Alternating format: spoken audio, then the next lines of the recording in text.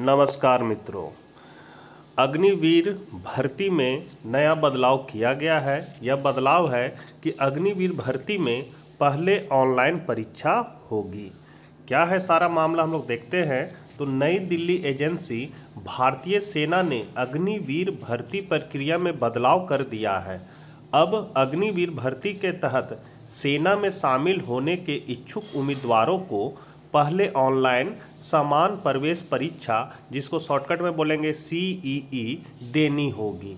इसके बाद उम्मीदवारों को शारीरिक रूप से चुस्त दुरुस्त होने मतलब फ़िज़िकल फिटनेस संबंधी परीक्षण और मेडिकल जाँच से गुजरना होगा। मतलब पहले ऑनलाइन परीक्षा होगा, उसके बाद उसका मेडिकल टेस्ट होगा। सूत्रों ने बताया है कि भर्ती के लिए पहली ऑनलाइन परीक्षा अप्रैल में 200 स्थानों पर आयोजित की जा सकती है। इस बारे में सेना विभिन्न माध्यमों से भी लोगों तक जानकारी पहुँचा रही है। भर्ती की नई प्रक्रिया अगली भर्ती में शामिल होने वाले करीब चालीस हज़ार उम्मीदवारों पर लागू होगी। नई व्यवस्था को अमल में लाने के पीछे मकसद भर्ती रैलियों में होने वाली भीड़ और चयन प्रक्रिया की लागत को कम करना है।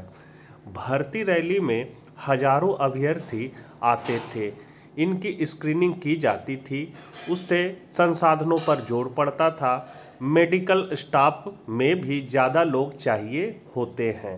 रैली में अत्यधिक भीड़ की वजह से कई हादसे भी हुए हैं।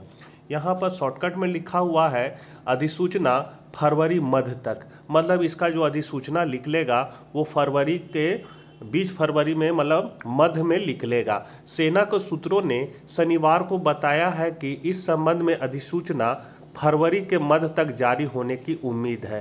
अप्रैल में पहली बार ऑनलाइन परीक्षा आयोजित होगी।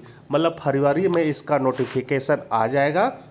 लास्ट फरवरी तक भी आ सकता है और इसका अप्रैल में ऑनलाइन प्रक्रिया शुरू हो जाएगा। पहले ऑनलाइन परीक्षा होगा, उसके बाद आपका मेडिकल टेस्ट होगा। छोटी सी जानकारी थी, चैनल पर पहली बार है तो ज़रूर सब्सक्राइब करें। मिलते हैं नेक्स्ट वीडियो के साथ, तब तक आज्ञा दीजिए। बाय